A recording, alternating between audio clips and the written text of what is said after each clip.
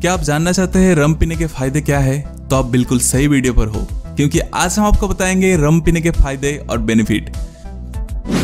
बहुत से लोग शराब, दारू या बियर का सेवन करते हैं और बहुत कम लोग कम पीते हैं, क्योंकि रम बहुत ज़्यादा गर्म होती है, इसलिए हम उसको गर्मी के मौसम में और ना ही बरसात के मौसम में पीते हैं।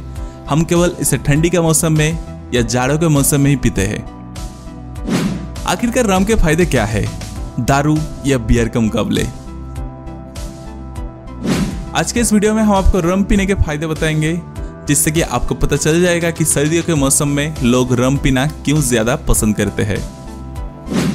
हम आपको एक बात ज़रूर कहेंगे कि हम यहाँ पर किसी को भी रम पीने के लिए प्रेरित नहीं कर रहे हैं, और इस वीडियो में आपको जो जानकारी दी जाएगी, वो केवल आपकी जनरल नॉलेज के लिए है। और हम कभी भी किसी को रम पीना या किसी भी तरीके का शराब का सेवन करने को कभी भी नहीं कहेंगे, क्योंकि इसके नुकसान बहुत ज़्यादा है और जानलेवा होते हैं। तो चलिए फ्रेंड्स आपकी जनरल नॉलेज बढ़ाने के लिए आज हम आपको रम पीने के कुछ दिलचस्प फ़ायदे और बेनिफिट्स बताते हैं, जो आज तक बहुत से लोगों को पता नहीं है। दोस्तों, सर्दियों के मौसम में या ठंड के मौसम में लोग रम इसलिए पीते हैं क्योंकि उनको सर्दी या जुकाम हो जाते हैं, जिसकी वजह से वो लोग बहुत ज़्यादा परेशान रहते हैं और उनको रात में अच्छे से नींद नहीं आती है और ना ही वो अपना काम पर ध्यान लगा पाते हैं। लेकिन अगर आप रम का एक या दो पैक रात को सोने से पहले गर्म पानी में मिलाकर पियेंगे तो आपको बहुत ज़्यादा फ़ायदे होगा और जब आप सुबह उठेंगे तो आप देखेंगे कि आपका सर्दी और जुकाम में काफ़ी ज़्यादा कमी आ गई है। सर्दी और जुकाम को ठीक करने के लिए रम पीने का सही तरीका यह होगा कि आप एक गिलास में हल्का सा गुनगुना पानी डाल दीजिए और इसमें एक या दो ढक्कन रम मिलाकर आप उसको पी लीजिए। जब आप सोने के लिए जाएँगे तो आप अपने सर पर कंबल ओढ़कर सो जाइए और कोशिश करें कि आप अपना पूरा शरीर को कंबल से ढक लीजिए ताकि आपके शरीर की गर्मी ज़्यादा से ज़्यादा बाहर निकल पाए और आपका जुकाम जल्दी ठीक हो पाए।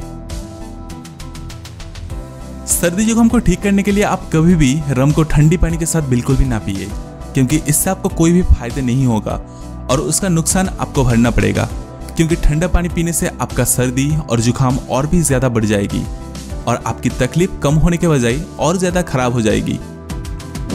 इसलिए दोस्तों, रम पीने का सही तरीका यह है कि आप इसे गर्म पानी में मिलाकर पिए और एक या दो पैक से ज़्यादा बिल्कुल भी नहीं पिए, क्योंकि ये फिर आपके दवाई के लिए नहीं काम करेगा। अगर आप ज़्यादा पियेंगे तो ये आपके सर्दी और जुकाम को और भी ज़्यादा खराब कर सकता है। दोस्तों, ठंड के मौसम में आपको पता ही है कितनी ज़्यादा ठंड लगती है कि घर से बाहर निकलने का मन ही नहीं करता। आप अपने घर पर ही कंबल से बाहर निकलने का आपको मन नहीं करता होगा, क्योंकि ठंडी इतनी ज़्यादा होती है। अगर आप उत्तराखंड या दिल्ली में रहते हैं तो आपको पता ही होगा कि यहाँ सर्दी कितनी ज़्यादा तेज होती है और हमारी तो हालत ही खराब हो जाती है। लेकिन क्या आपको पता है कि ठंड के मौसम में अगर आप कम पीते हैं तो आपके शरीर में गर्माहट शुरू हो जाती है और आपका शरीर को ठंड से लड़ने की ताकत मिल जाती है और आपको बहुत कम ठंड लगती है। इसलिए ज़्यादा से ज़्यादा लोग सर्दी के मौसम में रम पीना ज़्यादा पसंद करते हैं बियर के मुकाबले, क्योंकि बियर उतना गर्म नहीं होता, लेकिन रम बहुत ज़्यादा गर्म होती है। अगर आपको बहुत ज़्यादा ठंड लग रही है तो आप एक पैक रम पी सकते हैं, जिससे कि आपके शरीर में गर्माहट पैदा होना शुरू हो जाएगी और आपको बहुत कम ठंड लगेगी। दोस्तों, एक बार फिर हम आपसे कहेंगे, हम किसी को भी प्रेरित नहीं कर रहे हैं रम पीने के लिए, क्योंकि किसी भी तरीके का शराब, दारू, बियर पीना आपके सेहत के लिए बहुत ज़्यादा हानिकारक होता है। ये केवल आपके जानकारी के लिए है तो आप कभी भी शराब और बियर का सेवन ना करें।